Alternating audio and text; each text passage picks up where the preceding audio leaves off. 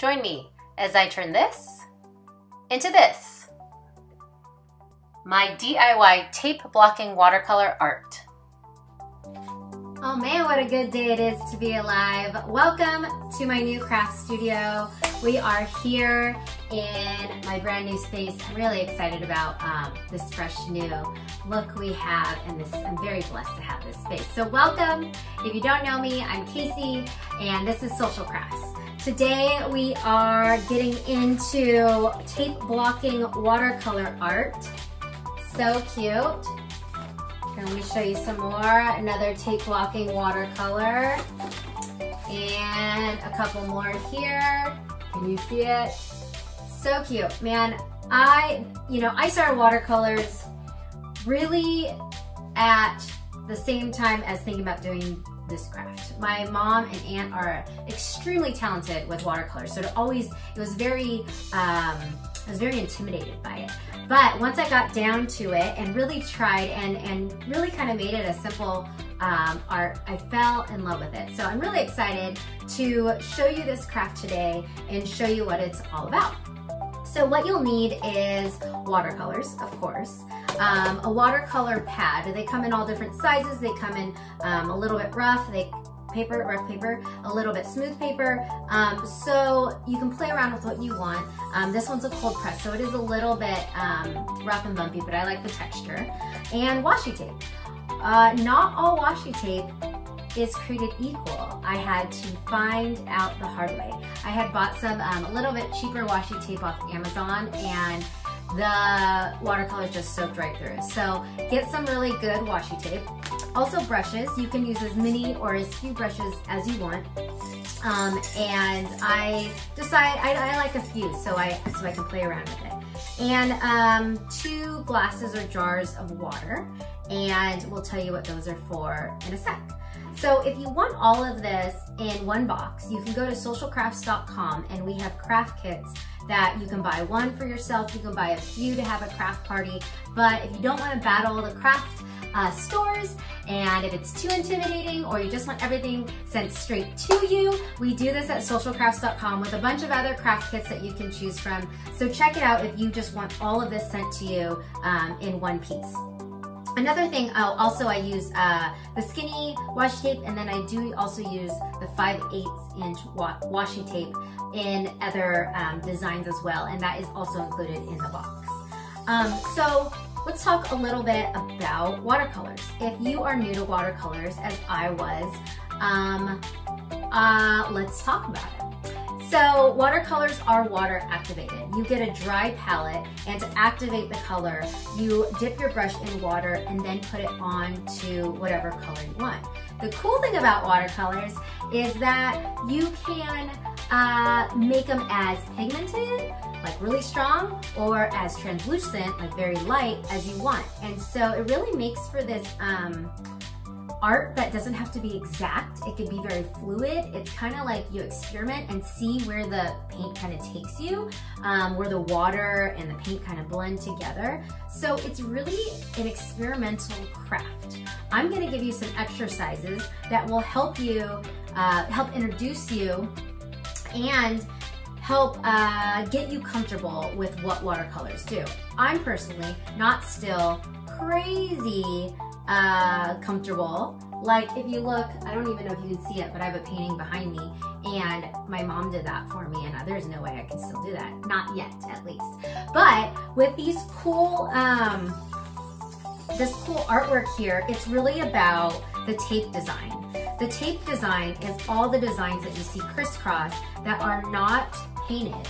And so I'm gonna teach you that art. I'm gonna teach you what helped me get to this point and this point, um, and it wasn't that hard.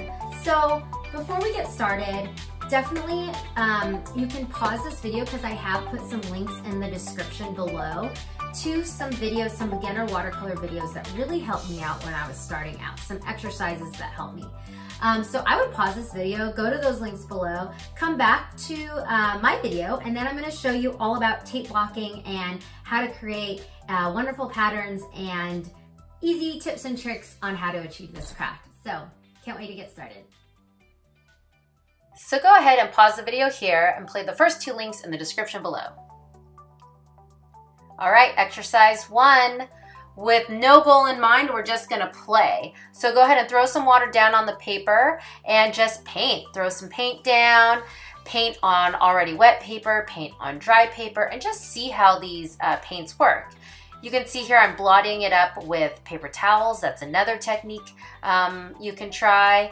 And this one, this heart, I put a water heart uh, down first and then I kind of blotted some paint within the heart and it just kind of stays within the um, within the water. So that's another technique to try.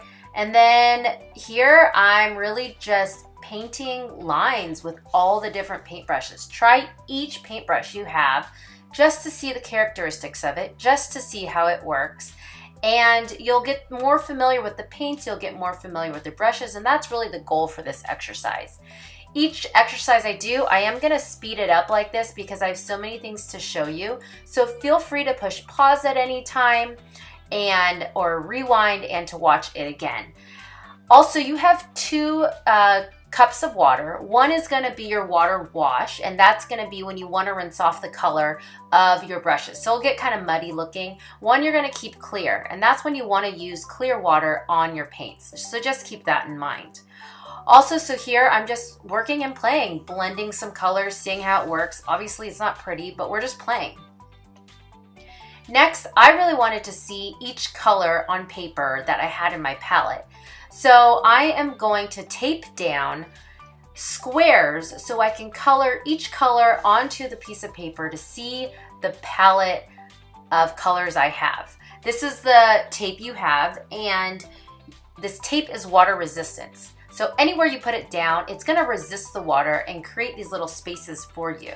So you can see I made a grid and with the number of squares of that I have paints. I'm gonna do a water wash down first and then take each color separately and paint it into the squares. You can see I'm starting on one side and making it highly pigmented and then brushing it to the others so it gets a little less pigmented with the water. So you can see I'm, I'm water washing it first. I'm speeding up here again and then putting down the color. And I'm gonna let it dry, not gonna take off the tape until it's fully dry. And then you can see all the colors on your palette. Down at the bottom here, I'm just doing some blending of a couple colors, just choosing some just to see what it's like, how they work, how those colors work together. And that's that. So exercise two. Using the thicker tape, tape down the sides of the paper and then tape across the paper, um, you know, making five different sections. In this exercise, we are only gonna use one color paint to work with. And this is where you have to use your imagination, use the water to dilute it to make a different color, add less water to make it a heavier color, and work with in each section of this painting using just those colors. I used the three blues, so I did use three different blues. And you can see here, I'm using all different easy, really easy design techniques to go from light to dark, to add more water, to just do some splotches in the middle here. The trick is though, the trick of all of these paintings is to have your paint touch the edges of each of your sections that you're painting. You don't want to just paint within the section, you want the paint to touch the edges so that when you remove it, you will see the edges of where the tape was. You can see here I'm not doing much of anything difficult. I'm more playing with the colors and the transparencies and how each uh, paint, you know, kind of works with the water. I'm more playing with the amount of water within this exercise.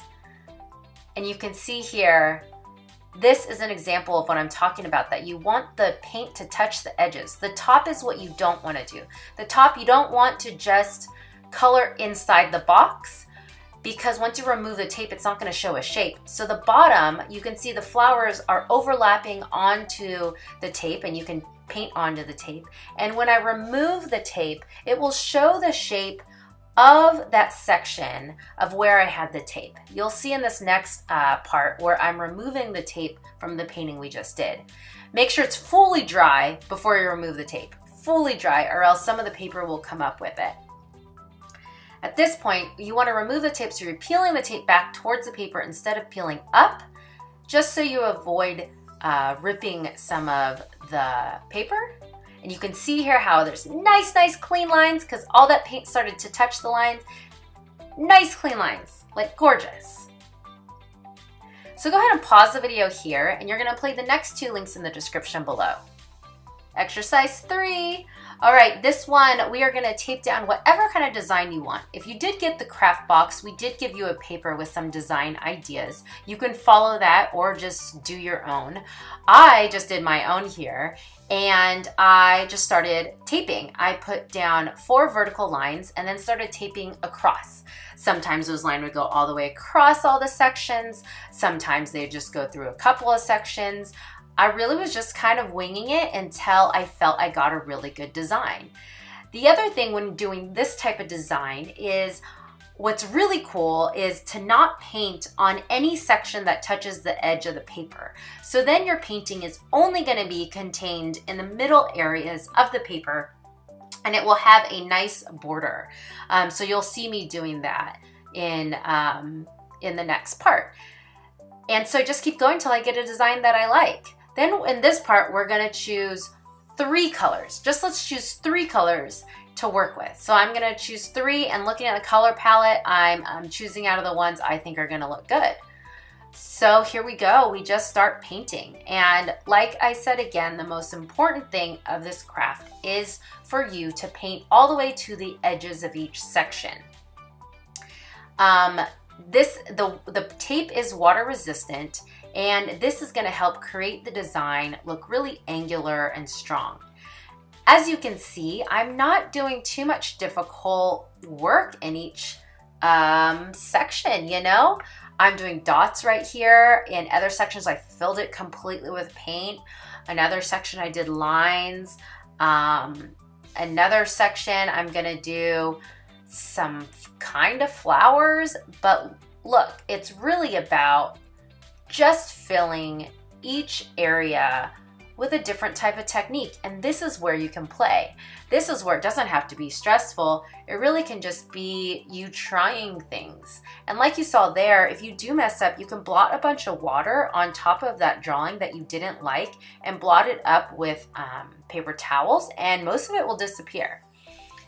This one's some circular kind of flower things that I just kind of created.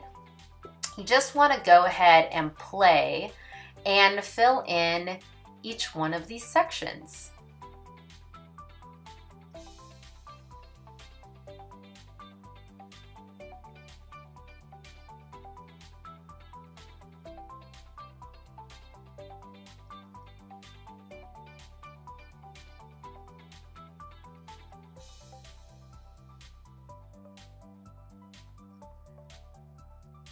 This is just a great way to get familiar with how the paints work and to not try for it to be perfect. Just try to experiment. That's what the fun of this is. The magic is really in the lines that are down.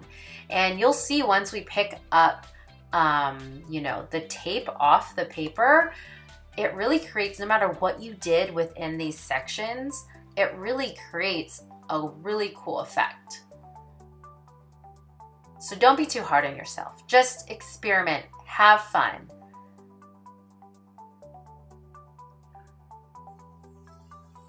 I found this to be incredibly meditative and I really enjoyed doing this. It was kind of like a, like an adult coloring book, more creative adult coloring book, super meditative.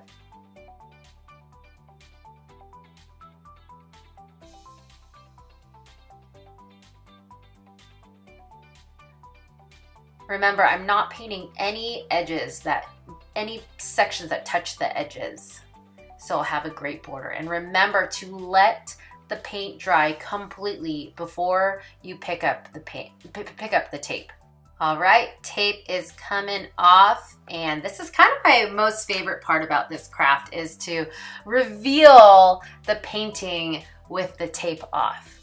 So just peel off that tape. Peel it off slow. It looks fast in this video, but peel it off slow so you don't pick up any of that paper. And there you go. You got yourself a painting. All right, here's some more examples that I just wanted to show you. Here's me demonstrating the cactuses that we learned in the cactus video.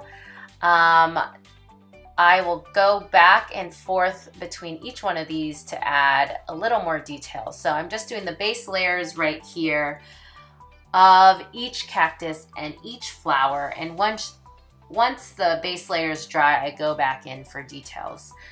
If you got the craft box, you got a copy of these examples, giving you a little step-by-step -step on how to achieve these flowers and cactuses that I did.